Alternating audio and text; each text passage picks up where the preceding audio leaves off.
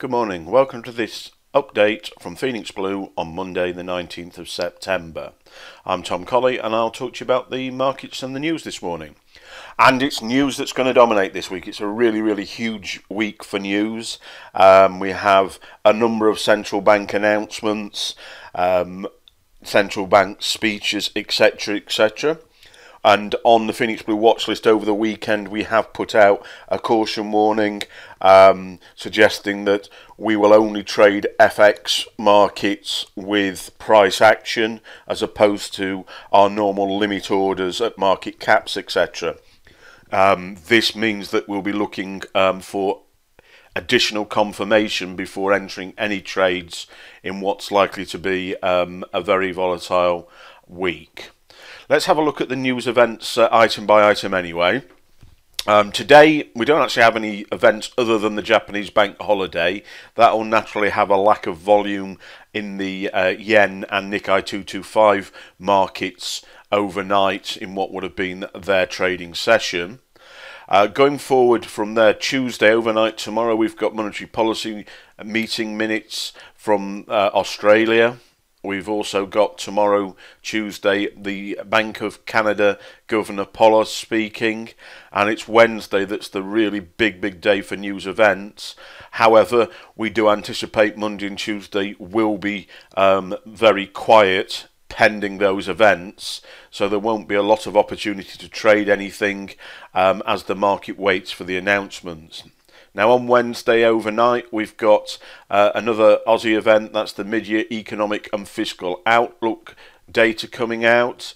And then the first of the biggies is the Bank of Japan monetary policy statement and the Bank of Japan press conference.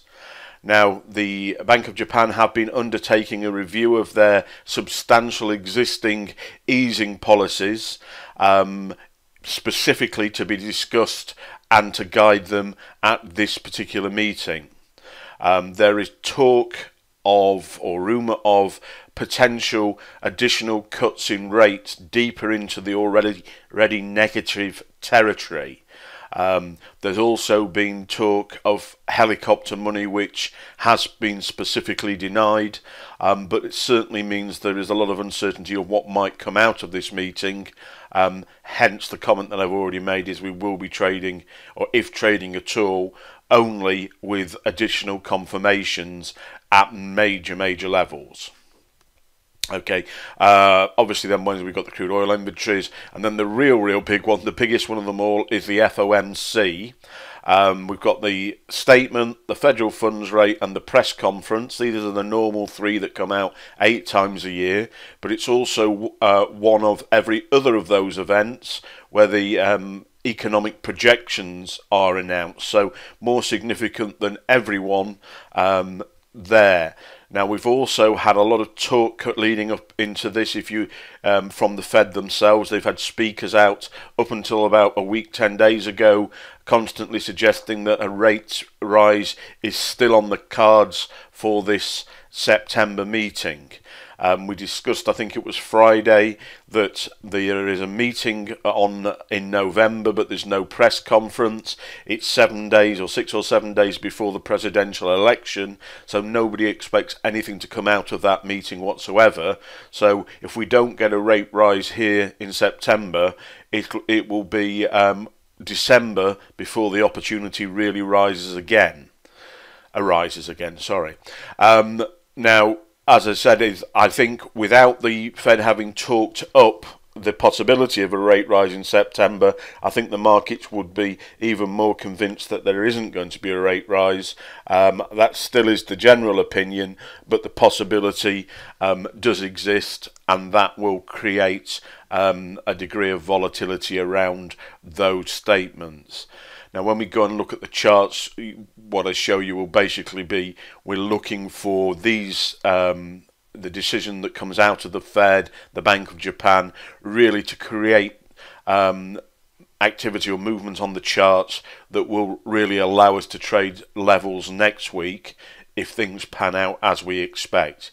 We will be watching the charts, and if opportunities arise, obviously we will be trading those, and you'll be able to um, either if you're part of the uh, Phoenix Blue family, you'll be able to be on the Skype group, um, but you'll also um, can keep up to date on our Instagram page, which is Phoenix Blue Trading. Okay, still on Wednesday, we've got another central bank announcement, this time um, from the Reserve Bank of New Zealand, where we again get uh, their cash rate, their interest rate, and the statement as to why their decision has been made. Whether we'll see anything out of this again, um, I'm not expecting anything, um, unless potentially, bearing in mind how it falls time-wise, we get something from one of these other decisions that that need means that the uh, Bank of New Zealand need to react. Then on Thursday, we've got another bank holiday in Japan. We've got uh, US unemployment claims, but then we've most importantly we've got the ECB president uh, Mario Draghi speaking, and again this is probably most significant because it comes immediately or the day after the Bank of Japan and the Fed statements. Um, so there may be some comment in reaction if we get something from those statements. So as you can see, a really busy week uh, it's really about the significance of the news we've got rather than the pure uh, number of events. It's the central banks, they're the ones that we um, are really waiting on to give the markets direction and have been waiting on for a number of months now. Quick look over at the charts. This is the dollar index. Um, last week we said we were looking for a break above 96.20 to confirm dollar strength um, in order for us to take um, end of day type trades on the majors and minors. We didn't see that. On Friday, we did see a nice bullish day. Um, really, it was a bullish afternoon UK time. Um, but we didn't break above this level. What we'll be looking for this week is for that level to be broken potentially um, to confirm that dollar strength if that's the way that the markets are going to go. Um, similarly, we have a level down here or the trend line here, which we're looking to see if um, the markets are driven in the other direction, a break below there, um, in order to give us clear direction, in order to be able to um, place high probability trades. The euro, as always, is, is somewhat a reflection of the uh, dollar index. Again, we're going to look for a breakout of this triangle formation to give us uh, a clear direction before we start risking our capital um, into next week. Over on the yen, well, this chart has really been static. It seems that we've been looking at it like this for weeks and weeks. Um, but the same uh, basic rule applies here.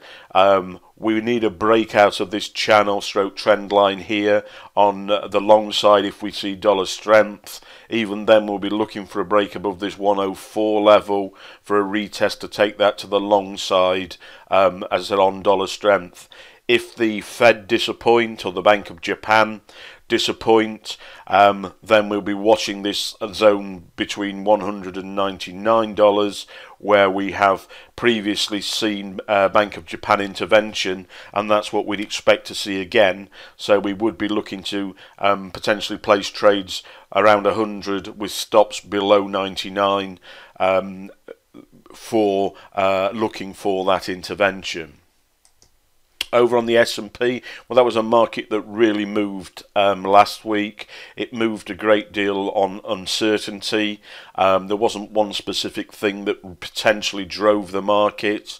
Um, I was reading over the weekend about market sectors and um, those being either bullish and bearish relative to um, the potential result of the US elections.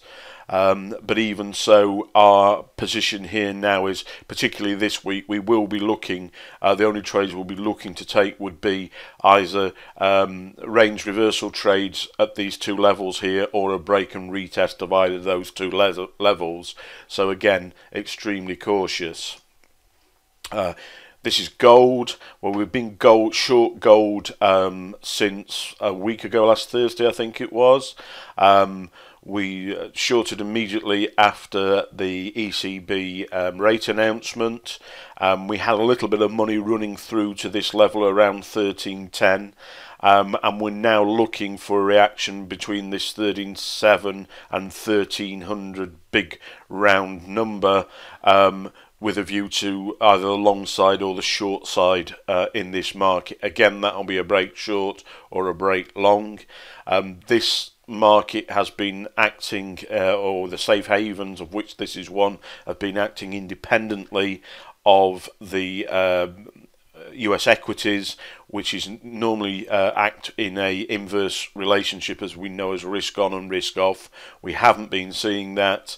Um, but we see potential now for further downside in this market um, if we get the appropriate news out of the Fed this week. Okay, guys, so not a lot to trade there, more um, really to uh, a time to sit on your capital. We all know that the important thing in this game is to um, have retain capital for the time when the markets give us the best opportunities. Those opportunities are predominantly not going to come this week. We're not going to be risking capital. Um, however, if you are interested in the way we trade um, and you want to um, have the opportunity to trade for four hours with the Phoenix Blue Fund Managers, um, we have an event this coming Friday, that's September the 23rd. Um, still time to attend that event. If you go onto the, the website phoenixblue.co.uk, go through to the events page of which this is, is, a, is a duplicate, click through, leave us your details, and we can um, send you all the information you need to come along for that event on Friday afternoon uh, in central London.